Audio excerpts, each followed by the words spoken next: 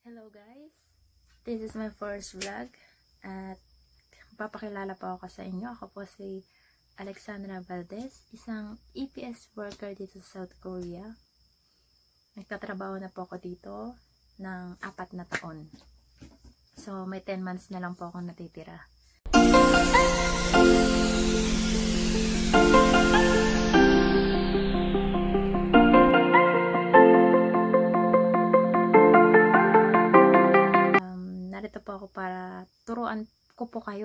paano mag-check ng inyong departure guarantee insurance at Samsung insurance.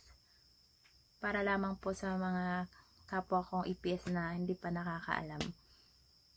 At para rin sa mga Samsung users kasi hindi po siya pa pwede sa iPhone. At kailangan po mayroon po kayong online banking kasi kailangan po ng certificate para mag-login. Mm, at makikita nyo po kung magkano na nga bang naipon ko sa loob ng apat na taon na pagtatrabaho dito. So, let's start! So, ito na po. Punta po lamang una sa Play Store. Download po ang naka-Korean po yun eh. John Yong Pohong. Yan po. EPS John Yong Pohong.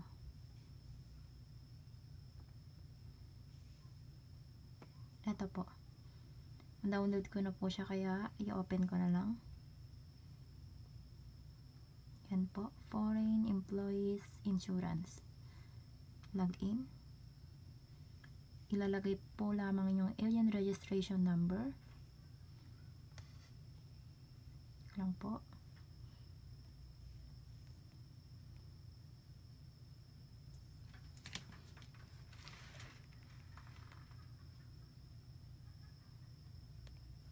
Kailangan pong takpan. Baka makita nyo.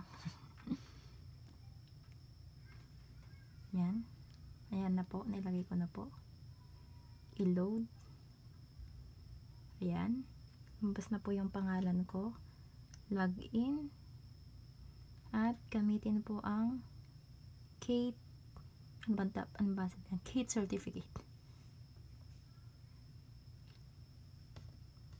Ayan. Sang-ayon. Then, click po dito.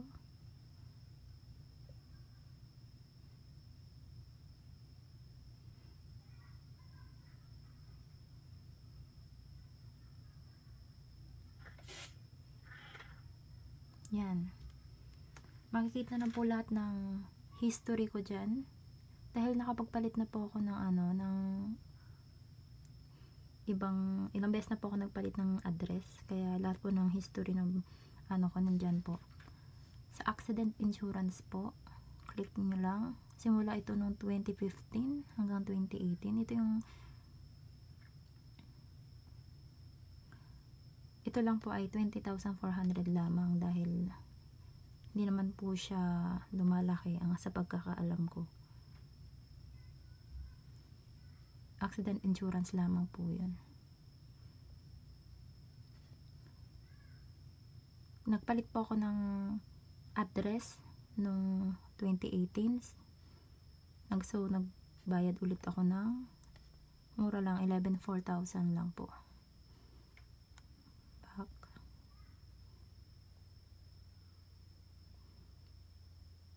Ito yung return cost insurance. Ito po yung binayaran natin nung dumating tayo dito sa Korea. Yung 400,000. Ayan po. 400,000.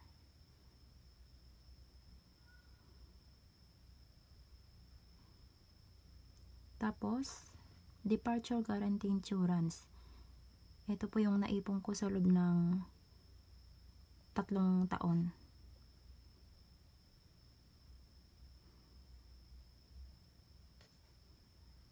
Ah, hindi po ito tatlong taon dahil nagpalit po ako ng address.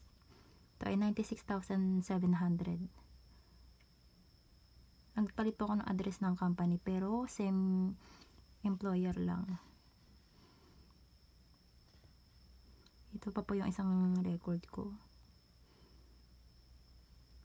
2.9 ito ay simula 2015 hanggang 2018 3 years.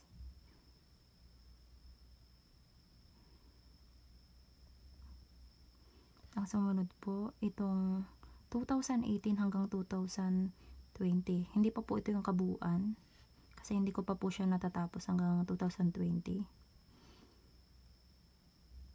ito ay nasa 2.2 naman na po siya. So lalaki pa po yan